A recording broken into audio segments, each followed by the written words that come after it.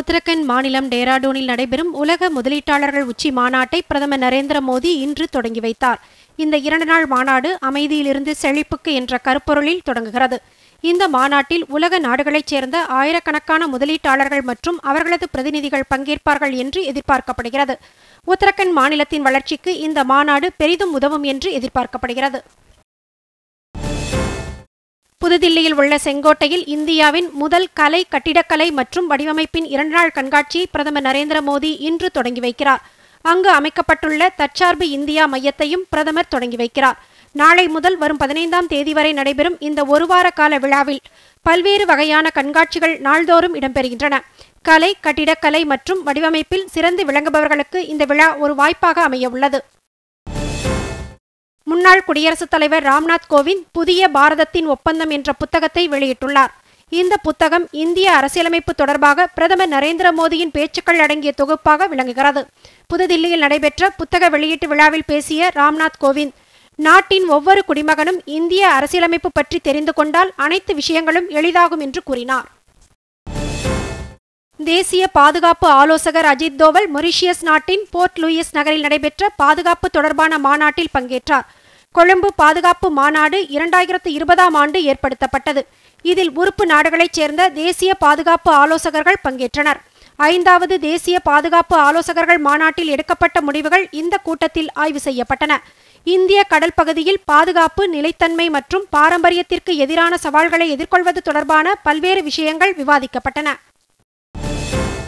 மத்திய அமைச்சரவையில் சில மாற்றங்கள் செய்யப்பட்டுள்ளன. இணையமைச்சர்களுக்கு கூடுதல் பொறுப்புகள் வழங்கப்பட்டுள்ளன.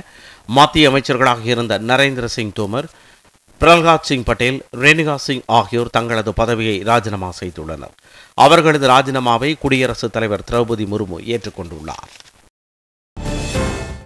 எப்போதும் இல்லாத அளவிற்கு கடந்த இரண்டு ஆண்டுகளாக பல்வேறு உலகத்தர போட்டிகளில் இந்தியா அதிகமாக பதக்கங்களை குவித்து வருவதாக மத்திய இளைஞர் நலன் மற்றும் விளையாட்டுத்துறை அமைச்சர் அனுராக் சிங் தாக்கூர் தெரிவித்துள்ளார்.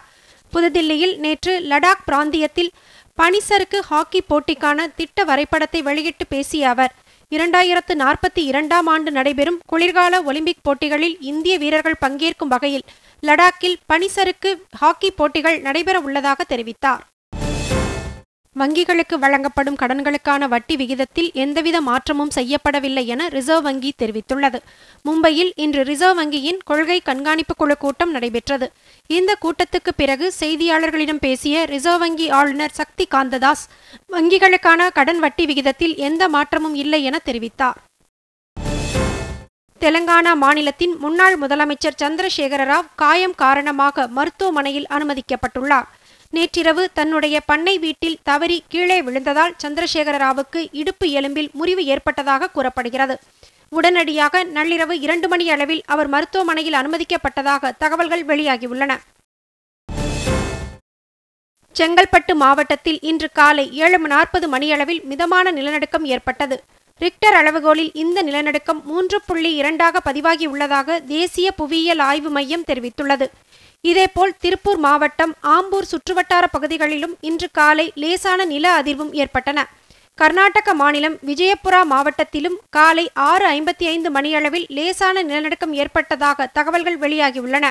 இதேபோல் குஜராத் மாநிலத்தின் கட்ச் மாவட்டத்திலும் லேசான நில அதிர்வு உணரப்பட்டதாகவும் ரிக்டர் அளவுகோலில் மூன்று புள்ளி ஒன்பதாக பதிவாகி இருப்பதாகவும் தகவல்கள் வெளியாகியுள்ளன. இஸ்ரேலுக்கும் ஹமாஸ் தீவிரவாத அமைப்பினருக்கும் இடையே கடும் சண்டை நிகழ்ந்து வரும். காசாவில் மனிதநேய அடிப்படையில் முழுமையான போர் நிறுத்தம் அமல்படுத்த வேண்டுமென ஐநா பொதுச் செயலாளர் ஆண்டனியோ குட்ரஸ் வலியுறுத்தியுள்ளார். ஐநா பாதுகாப்பு கவுன்சிலுக்கு கடிதம் எழுதியுள்ள அவர் காசாவில் தொடரும் தாக்குதல்கள் சர்வதேச அமைதிக்கும் பாதுகாப்பிற்கும் அச்சுறுத்தலாக அமையும் என்று எச்சரித்துள்ளார். கிழக்கு திசை காற்றின் வேக மாறுபாடு காரணமாக தமிழகத்தில் இரண்டு நாட்களுக்கு ஒரு சில இடங்களில் கனமழைக்கு வாய்ப்புள்ளதாக சென்னை வானிலை ஆய்வு மையம் தெரிவித்துள்ளது. இது தொடர்பாக அந்த மையம் வெளியிட்டுள்ள அறிக்கையில் தமிழகத்தில் ஓரிரு இடங்களிலும் புதுவை மற்றும் காரைக்கால் பகுதிகளிலும் இன்றும் நாளையும் இடி மின்னலுடன் கூடிய லேசானது முதல் மிதமான மழை பெய்யக்கூடும் என தெரிவிக்கப்பட்டுள்ளது.